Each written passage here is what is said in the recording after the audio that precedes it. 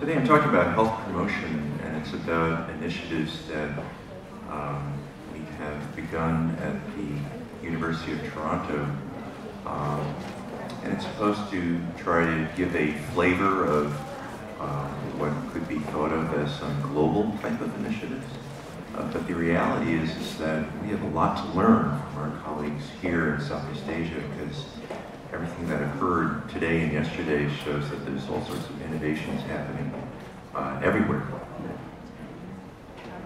Um, Canada uh, is seen by many as a wonderful destination to live, to travel.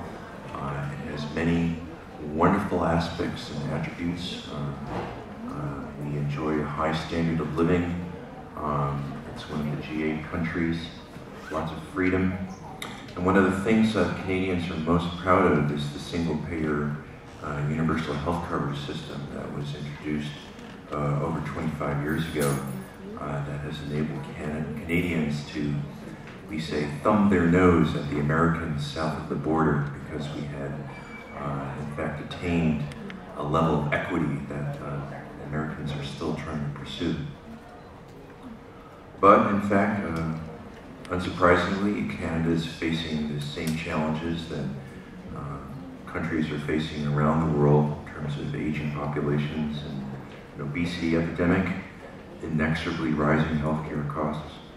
And we have some particular disparities that we are not proud of. Uh, this is just one example. Um, looking at uh, the child poverty rates in Canada, comparing uh, those of most Canadians with the indigenous children uh, in Canada. And many have pointed that out as Canada's shame.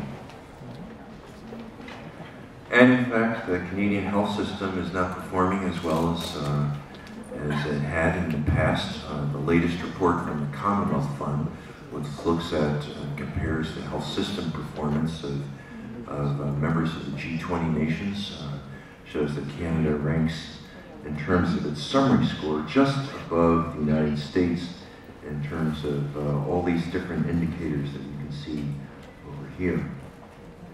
There's the Canadian flag right there. Now, our school uh, is very proud to be at the center of some of the health system uh, innovation discoveries uh, and teaching. Uh, it's a school that's been around for a long time, actually. Uh, it was one of the original Rockefeller Foundation schools of hygiene that was created by um, uh, the Rockefeller Foundation along with Harvard and Johns Hopkins in 1927. Uh, but then the school actually disappeared in 1975, and it took the SARS crisis, uh, which you know very well here in, uh, in Asia, of 2003 to uh, awaken Canada's interest in uh, system, systemic public health, federal public health. And that's when our school was reestablished uh, and now represents the biggest school of public health uh, in Canada. Uh, it's organized in some of the same units as you might expect in any school of public health, uh, along uh, with the faculty uh, based in the disciplinary units that are seen in any school of public health. This is kind of a interesting innovation by itself. we created this division uh, especially to pursue scholarship that integrates public health with primary care. Um, and that's where a lot of our clinical scholars um, live. But in fact, as um, most of you know, the best public health research um, will be transdisciplinary and also involve multiple sectors.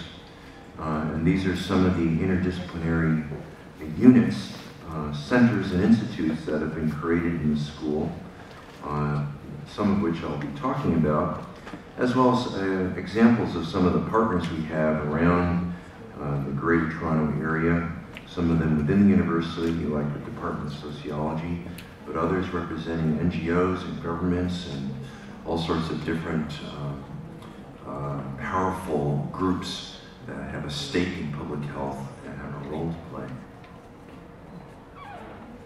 So now I'm just going to discuss six, types and examples of health promotion innovations uh, along the lines of behaviors and skills, approaches, measuring impact, marginalized populations, outcome concepts, and evidence.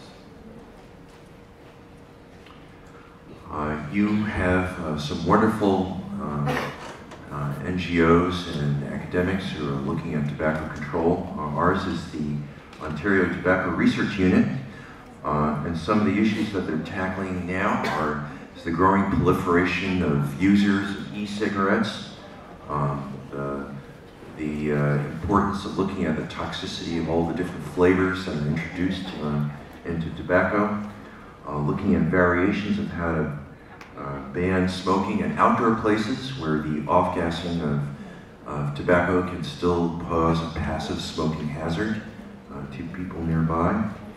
Um, looking at different uh, smoking cessation, cessation strategies, and in particular looking at tobacco reduction in Aboriginal communities, which uh, remain disproportionately affected by the tobacco epidemic.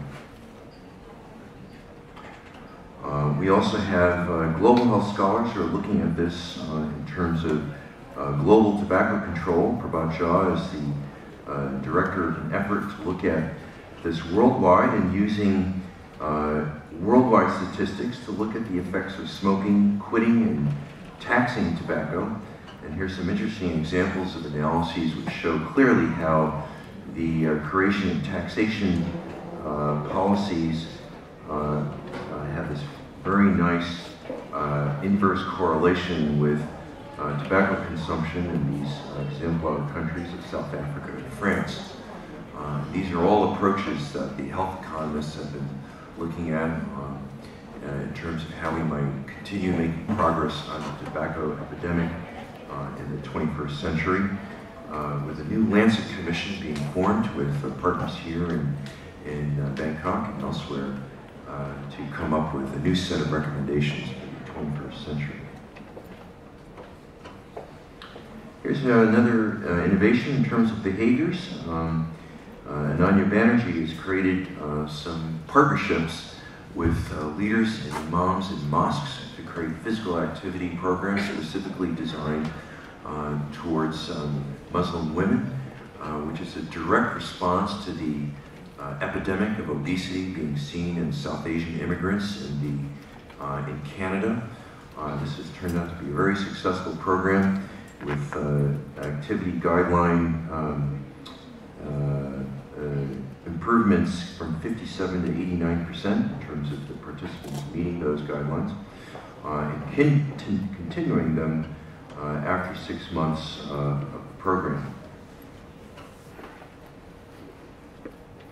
Uh, Shafi Bhuiyan is here in the audience, one of our faculty, uh, has another uh, behavioral innovation, his work on championing the Maternal and Child Health Handbook, created in 2002, uh, the investments he's made in, in uh, propagating uh, this instrument in Bangladesh and in many other countries by organizing international conferences on its use, its implementation, and its effectiveness. In terms of innovations and approaches, um, I think the biggest one that we've seen in our school has been the investment of interest in social innovation and social entrepreneurship. Uh, this is being led by Alex Jadad, who's the new director of our Institute for Global Health, Equity, and Innovation. And here's where uh, we have to remind ourselves is what is social innovation? Uh, defined by this group at the Stanford Graduate School of Business as a novel solution to a social problem that is more effective, efficient, sustainable, and just than current solutions. So it's not an invention per se, but it's a level of creativity and a way of doing it in society uh, that will get things scaled up and adopted.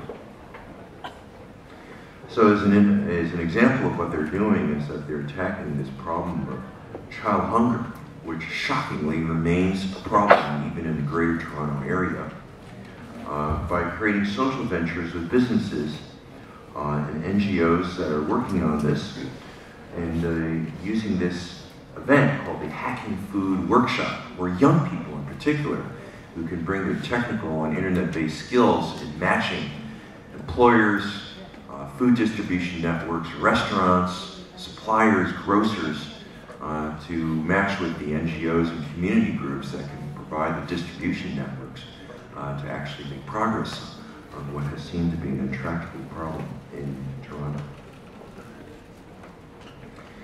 Now, the success of this um, way of thinking has led to a uh, new center in the, in the school, the Healthier Cities and Communities Hub, led by Patricia Campo and Blake Poland. Uh, they just launched a seed funding initiative that requires uh, the community groups to collaborate with uh, groups of our investigators. Um, uh, this is an initiative co-sponsored by Toronto Public Health an NGO, the Wellesley Institute, uh, and that we're looking forward to create through individual entrepreneurship efforts, a whole new crop of social innovation ventures. Another uh, innovation and approach. Um, because all of you, I hope, are movie fans, I certainly am, but the recognition that movies represent an incredibly useful and impactful way of changing people's attitudes and perhaps behaviors. Uh, Uttam Bajwa, who's a special projects fellow working for the Dean's Office, has created this new initiative with one of the largest international film festivals in the world, which occurs in Toronto. And our students will be screening over 200 films to select those of particular global health value in terms of their content and impact for school-wide screenings and discussions and as part of the aim of creating a whole new initiative on how to promote health through film.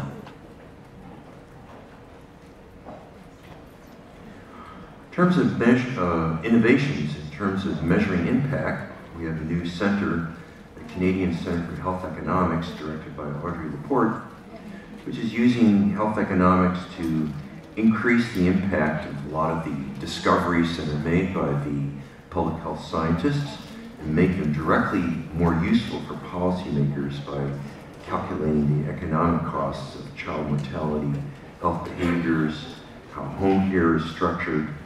Uh, and these are the kinds of, uh, of uh, initiatives that have attracted fellows from all over Canada. Uh, and uh, this center is very keen on developing collaborations in Asia uh, to use this kind of approach to affect policy.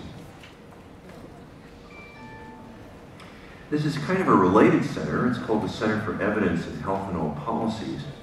The bottom line is that it addresses this political mandate of governments almost everywhere. That, yeah, we want you to have more impact, but we're not going to spend any more money on it. So, how do you actually work in that framework? Well, there's actually some tools that can be used. We call it evidence based budgeting as a way of enhancing public services and improving public engagement by specifically analyzing and comparing different types of evidence to target those uh, interventions that have the highest return on investment um, and increase benefits without affecting the budget. It's created a center of its own that uh, has become uh, a useful uh, collaborator with some of the other centers around uh, North America that are operating in this kind of uh, funding constraint environment. Uh, and this may, of course, also have utility as a concept for our collaborators here in Asia. Next is innovations in marginalized populations. We uh, have uh, been greatly gratified by the um, uh, largesse of one of our university donors, Michael Dan, who contributed $10 million to create the first endowed institute for, of indigenous health that we're aware of in the world. Um, Michael Dan is a very unique uh, donor. He uh, is a graduate of the medical school, a neuro neurosurgeon who inherited uh, his family's company. Uh, one of their assets was developing hydroelectric power plants, um, which have to, which mostly take place as partnerships with indigenous communities up north in northern Canada. And when he got to see firsthand just how desperate the conditions were in these indigenous communities, he vowed to make a difference, and this is what we have. Uh, this is an institute that has already started to, uh, uh, its first set of um, research uh, projects on cancer and the environment in the far north, where there's apparently several clusters of cancer in First Nations environments uh, with suspected relationships to particular environmental exposures, and new projects to reduce perinatal mortality and morbidity. So here's another example of working with marginalized populations. Carol Strike, one of our first professors, works with one of the most difficult populations to work with, those people living with HIV AIDS who still continue to abuse uh, drugs or other substances. They turn out to be um, some of the most uh, shunned by the healthcare community as well as uh, social agencies because they're, they're so difficult uh, to address. Uh, many times their personalities are labeled as challenging, manipulative, drug-seeking, and demanding, yet we still owe it as humanitarians to figure out how we can best accommodate their needs uh, and try to keep them in a healthy state and in a hospital. Uh, and she's using a whole series of transdisciplinary approaches to find the best tools for measuring patient experience, outcomes, and best practices. Then there's innovations in outcome concepts, um, and this may be in some way uh, the most innovative of all. Um, this is a reminder of how WHO has defined what it means to be healthy uh, since its uh, early convention in 1948. Health is a state of complete physical, mental, and social well-being. By that definition, uh, it'd be hard to identify anybody in this room who's completely healthy. I wear contact lenses, so I'm definitely not healthy. Um, but actually, if uh, we were to take a poll and who felt healthy in this room, enough to go to work and to have a productive life, I think most of your hands would go up. And that's part of um, what uh, Alex Jadad and his colleagues have created, which is a new definition of health. Um, the capacity to adapt and self-manage in the face of physical, mental, and social changes. And they've used this metric to create a whole new set of uh, self-surveys and shed light on the insight that in fact you can have several chronic disease conditions but feel quite healthy at the same time. Uh, this is a survey done in Canadians, uh, and this is uh, what has been done globally. And I think the, the basic lesson here is that uh, as we think of how the healthcare environment continues to consider its goals, treating disease as they measure it, uh, instead of necessarily indices of well-being, productivity.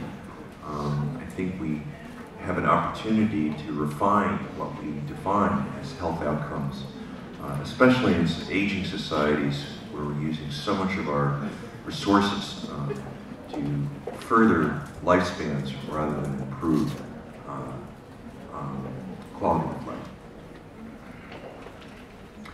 The final uh, innovation relates to evidence, um, and uh, I'd like to address this whole issue of big data.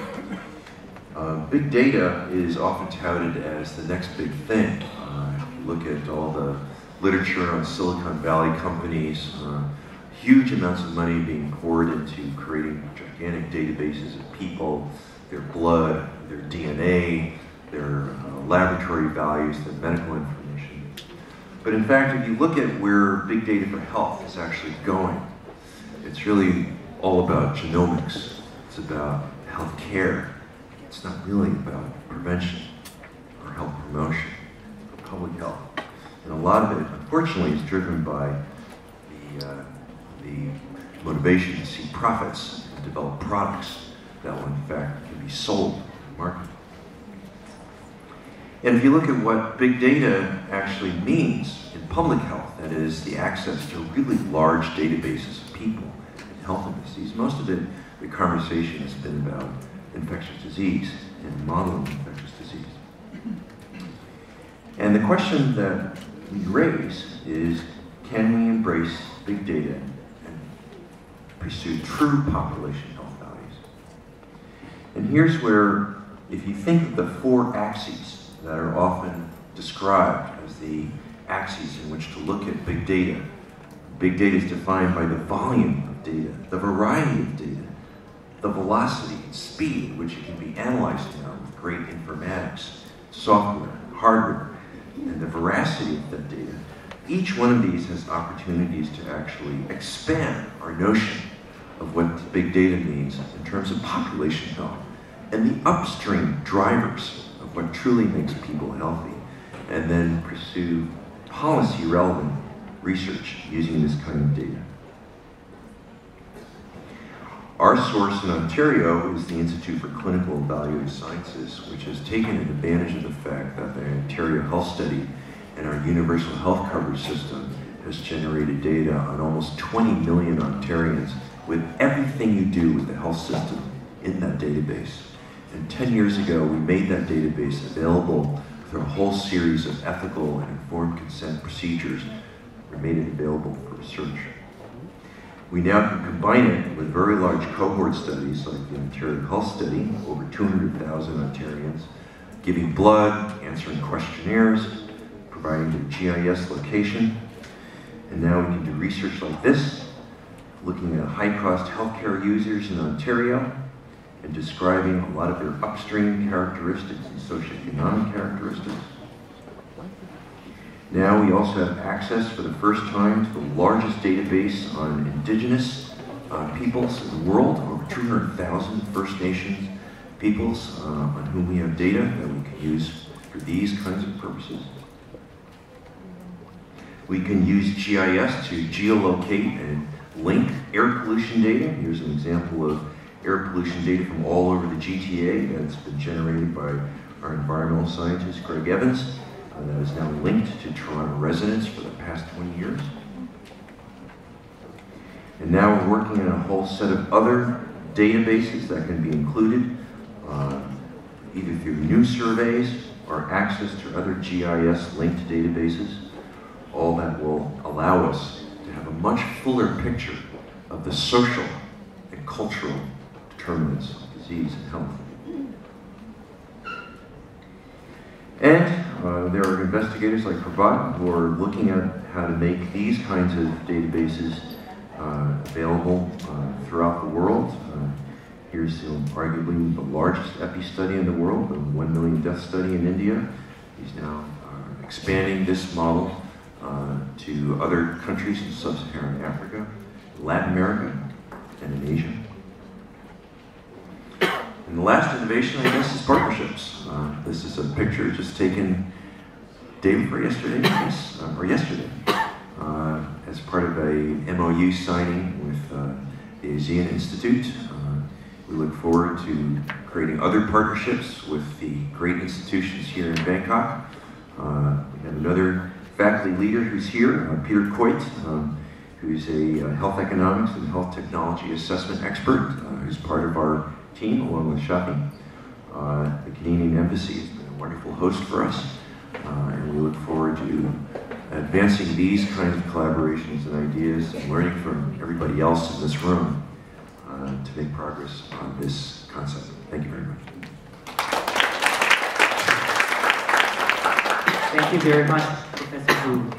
And if anyone has any questions, please raise your hand and introduce yourself and the institution where you're from. And please make it brief. Any questions, comments, suggestions related to the presentation? I didn't put them to sleep.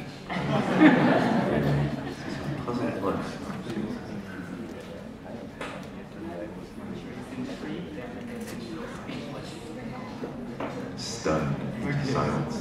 Okay. There's a hand. Adam in the back.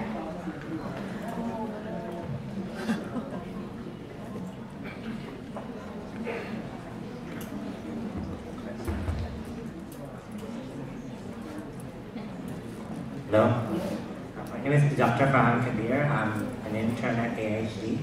So my question is that uh, since you have stated um, a lot of work, big data is one of them on marginalized and indigenous people mainly.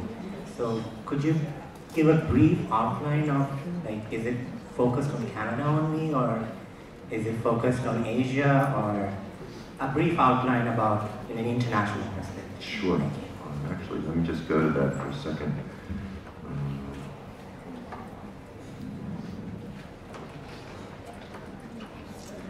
So, um, one thing I put up on the slide, but I didn't talk about, was um, this person here, uh, Peter Bryce. Um, and uh, his story is emblematic of Canada's um, problem, uh, which is that, in fact, uh, the Truth and Reconciliation Commission, which just concluded its work last year, um, reviewed a lot of the history of, of how Canada has treated its indigenous populations. And, and the conclusion was, uh, in fact, um, there's evidence of genocide. Uh, Peter Bryce was a physician in the Indian Health Service who was hired to uh, try to manage uh, the health of the residential schools, which are the schools where all of the children of uh, indigenous tribes were forcibly taken from families and put into the schools to try to be taught uh, Canadian values, uh, education, etc. And uh, after studying this for several years, he concluded that in fact um, the mortality rate was upwards of 40% over five years. And in fact, uh, the Canadian government knew about it and did nothing about it. Uh, voluntarily chose to do nothing about it, which added to the evidence of this being uh, genocide. Um, so Canada has a very special uh, moral imperative uh, to improve the health of its indigenous populations. The disparity statistics are shocking. Um, but in fact, uh, the intention is to make this institute uh, a globally um, connected institute uh, with indigenous health movements around the world. Uh, there are some countries that seem to have done better than others. Um, I don't know if Adrian's here, but New Zealand in particular uh, has seemed to do quite well. Um, and uh, I think there are lessons to be learned by so many of our um, scholars about uh, indigenous peoples uh, wherever we are. Um, it's actually great to see one of our scholars, like Renee, fantastic way again. See one of our young students here, uh, also part of the, the Toronto contingent. Um, and she's worked on indigenous health, and um, we look forward to working with everybody else on this. Hope that answers your question. Thank you very much for, for the question. And thank you so much, for, Professor Hu, for the presentation.